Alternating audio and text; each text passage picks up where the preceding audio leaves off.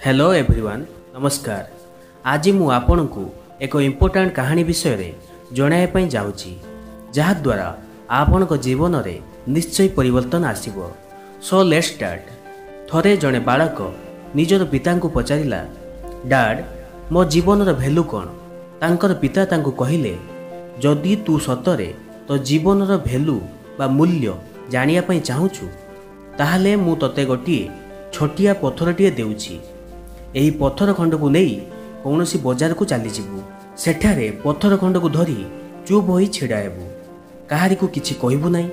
ଯଦି କୌଣସି ବ୍ୟକ୍ତି ତୋତେ ଏହାର ପ୍ରାଇସ୍ ବିଷୟରେ ପଚାରନ୍ତି ତାହେଲେ ତୁ କିଛି ନ କହି ଦୁଇଟି ଆଙ୍ଗୁଳି ତାଙ୍କୁ ଦେଖାଇଦେବୁ ନେକ୍ସଟ ଦିନ ବାଳକ ଜଣକ ଗୋଟିଏ ମାର୍କେଟକୁ ଗଲା ଆଉ ପଥର ଖଣ୍ଡକୁ ଧରି ବହୁତ ସମୟ ପର୍ଯ୍ୟନ୍ତ ଧୀର ସ୍ଥିର ହୋଇ ବସି ରହିଲା ଜଣେ ବୁଢ଼ୀ ଲୋକ ସେ ବାଳକ ପାଖକୁ ଆସିଲା ଆଉ ସେ ପଥରଟିକୁ ଦେଖିବା ପାଇଁ ଲାଗିଲା ପଥରଟିକୁ ଭଲ ଭାବରେ ଦେଖିସାରିବା ପରେ ବୁଢ଼ୀ ଲୋକଟି ବାଳକକୁ ପଚାରିଲା ବାବାରେ ଏଇ ପଥରର ମୂଲ୍ୟ କେତେ?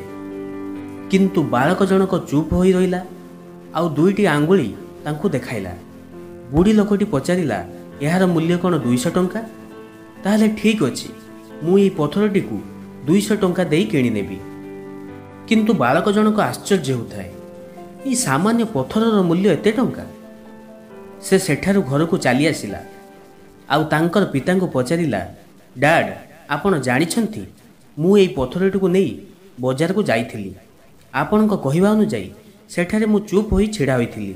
ଜଣେ ବୃଦ୍ଧା ବ୍ୟକ୍ତି ଏହି ପଥର ଖଣ୍ଡକୁ ଦୁଇଶହ ଟଙ୍କା ବିନିମୟରେ କିଣିବା ପାଇଁ ରାଜି ହୋଇଗଲା।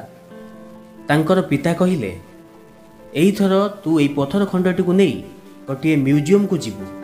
ସେଠାରେ କାହାରିକୁ କିଛି କହିବୁ ନାହିଁ। ଧୀର ସ୍ଥିର ଭାବରେ ପଥର ଖଣ୍ଡକୁ ଧରି ଛିଡ଼ା ହେବୁ। ଆଉ ଯଦି କେହି ଏହାର ପ୍ରାଇସ୍ ବିଷୟରେ ପଚାରେ ତାହେଲେ ତୁ କିଛି ନ କହି ତାଙ୍କୁ ଦୁଇଟି ଆଙ୍ଗୁଳି ଦେଖାଇଦେବୁ। ନେକ୍ସଟ ଦିନ ବାଳକ ଜଣକ ଗୋଟିଏ ମ୍ୟୁଜିୟମକୁ ଗଲା ଆଉ ସେଠାରେ ପଥର ଖଣ୍ଡକୁ ଧରି ଧୀର ସ୍ଥିର ଭାବରେ ଛିଡ଼ା ହୋଇ ରହିଲା। କିଛି ସମୟ ପରେ ଜଣେ ବ୍ୟକ୍ତି ତା ପାଖକୁ ଆସିଲା। ଆଉ ପଚାରିଲା ବାଳକ ଏହି ପଥର ଖଣ୍ଡଟିର ପ୍ରାଇସ୍ କେତେ? ବାଳକ ଜଣକ ତାଙ୍କୁ କିଛି ନ କହି ଦୁଇଟି ଆଙ୍ଗୁଳି ତାଙ୍କୁ ଦେଖାଇଲା। ବ୍ୟକ୍ତି ଜଣକ ପଚାରିଲା ଏହାର ମୂଲ୍ୟ କ'ଣ? କୋଡ଼ିଏ ହଜାର ଟଙ୍କା? ହଉ ଠିକ୍ ଅଛି। ଏହି ପଥରଟିକୁ ମୁଁ କିଣିବା ପାଇଁ ଚାହୁଁଛି। ବାଳକ ଜଣକ ପୁଣି ଆଶ୍ଚର୍ଯ୍ୟ ହେବାକୁ ଲାଗିଲା। ଆଉ ତାପରେ ମ୍ୟୁଜିୟମରୁ ଘରକୁ ଆସି ତାଙ୍କର ପିତାଙ୍କ ପାଖରେ ସେସବୁ କଥା ଜଣାଇଲା। ତାଙ୍କର ପିତା ଏହା ଶୁଣି ସାରିଲା ପରେ ପୁତ୍ରକୁ କହିଲେ ଦେଖ ଏଇଥର ତୁ ପଥର ଖଣ୍ଡକୁ ନେଇ ଗୋଟିଏ ବଡ଼ ଜୁଏଲାରୀ ସପ୍କୁ ଯିବୁ।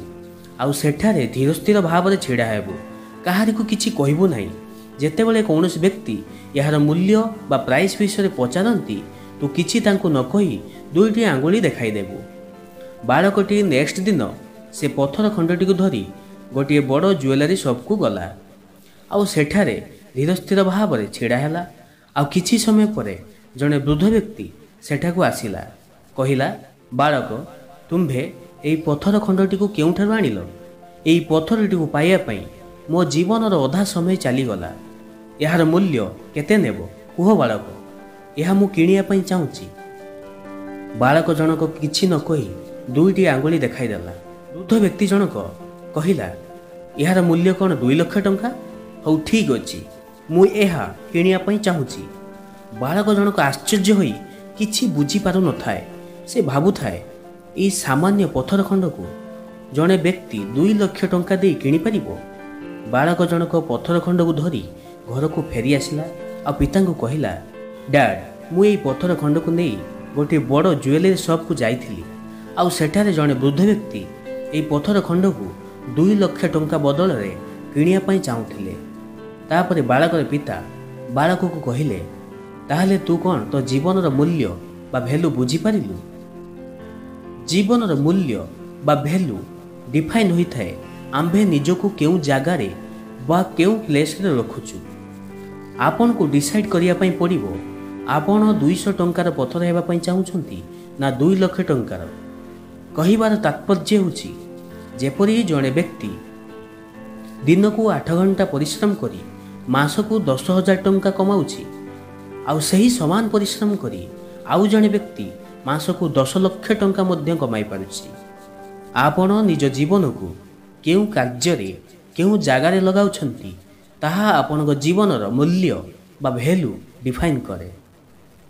ଆପଣ ଯଦି ଏହି ଭିଡ଼ିଓଟିରୁ କିଛି ଶିଖିବା ପାଇଁ ପାଇଛନ୍ତି ତାହେଲେ କମେଣ୍ଟ ବକ୍ସରେ ଜଣାନ୍ତୁ ଚ୍ୟାନେଲକୁ ସବସ୍କ୍ରାଇବ୍ କରନ୍ତୁ ଭିଡ଼ିଓକୁ ଲାଇକ୍ ଆଣ୍ଡ ସେୟାର ମଧ୍ୟ କରନ୍ତୁ। Thanks for watching